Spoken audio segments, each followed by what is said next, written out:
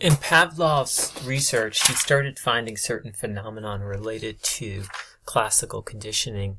Uh, we talked about acquisition. There's higher order conditioning right? There's also stimulus generalization and stimulus discrimination, sometimes just called generalization, as in Myers, or just discrimination, as in Myers, but other books call them stimulus generalization and stimulus discrimination.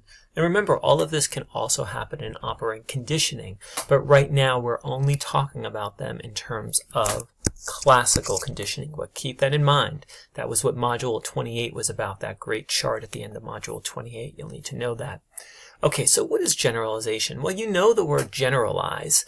You also know the word discriminate, right? But to generalize, I can generalize a claim. If I think something, if I feel like I don't like, um, I'm just making something up. I don't like, uh, K-pop.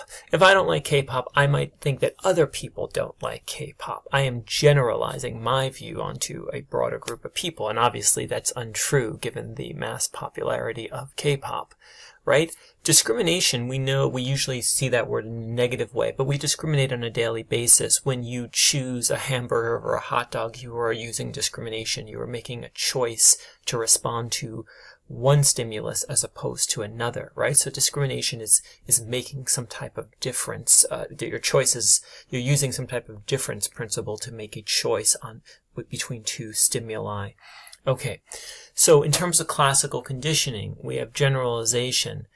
And really what happens is, remember the little Albert, um, um, John Watson, the little Albert experiment, so to speak, where he actually, every time he showed this, the little baby a white fluffy rabbit, I know this rabbit isn't white, but I think in the original one it was, uh, right before that he would, you know, right when he showed it to him, he would bang a loud, a loud noise behind the baby's head, and the baby eventually started associating the loud shrieking noise with the rabbit and became afraid of the rabbit, right? Eventually he just showed him the rabbit and he started freaking out. But then when he introduced other smaller white furry animals, the little Albert also had a fear response. And remember, Originally, he was not afraid of the white rabbit, so the fear to the white rabbit was a conditioned response, and the white rabbit was a conditioned stimulus. The loud noise was the unconditioned stimulus. But eventually, he started becoming afraid of all these small furry animals. That would be stimulus generalization, right? So it's when we basically extend our conditioned response to, to a stimulus or stimuli that are similar but not exactly the same as the original conditioned stimulus. Condition means learned, right?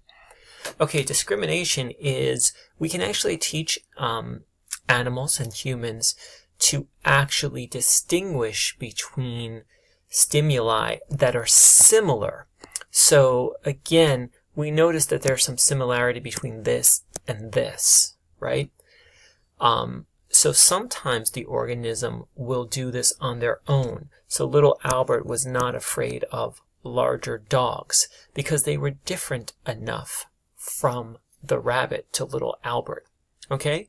So he would discriminate. Um, um, that that would be an example of discrimination.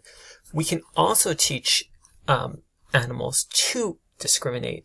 And the way we can do that is actually by using classical conditioning. So here's another example. So that's a tuning fork that when um, when it vibrates, it actually creates a sound, a tone. Remember we learned about that tone, like different pitches.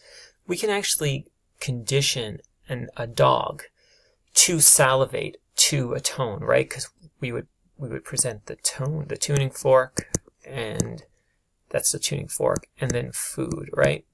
The food is the unconditioned stimulus. This starts off as a neutral stimulus, but as we continually pair them together, eventually this becomes a conditioned stimulus that when the dog hears that specific tone, it will salivate, right? That becomes a conditioned stimulus, and this now becomes a conditioned response. Well, if generalization was occurring when an animal heard another tone, even if that tone was higher, or lower, the animal might salivate. But a way to actually get the animal not to salivate would be to never um, actually pair this new tone with food. So if we never compare, um, combine the new tone with food, the animal would eventually learn that this newer tone does not signal. Remember, unconditioned stimulus is the food. And the dog would stop. As you can see, it says no salivation. So some animals do this. They simply do it without any prior classical conditioning. It just seemed like in the little Albert case. And sometimes we can use classical conditioning to teach stimulus discrimination. How this functions in real life.